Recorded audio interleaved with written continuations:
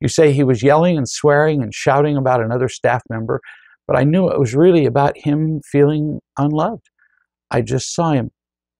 I saw that he was afraid.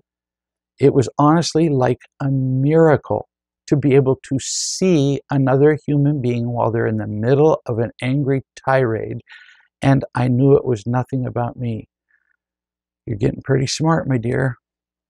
You continue. I said to him, it was nothing to do with the staff member he was shouting about, but that I had made a mistake uh, and I could have done it differently. And mm, he's been angry for a great many years, a great many years before this particular staff member made his mistake. It felt amazing to just naturally say that I could have done something different with no shame, no fear, no nothing. Well, I'm still amazed. You continue. He loved it. He, he loved it immediately. He was shouting at me while he was while he was afraid, but he saw that what I was saying was the truth. And within 10 minutes was as happy as I've ever seen him.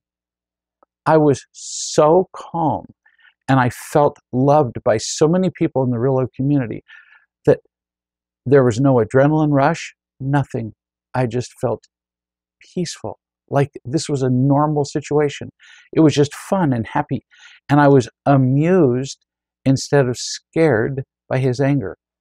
Everybody in the whole place, because he was screaming and yelling to the point where it was catching the attention of every employee and every customer, everybody relaxed because I didn't go into fear. All because of that. It made what could have been a drama into nothing. How cool is that? Pretty darn cool. Uh, what a great example of the power of peace.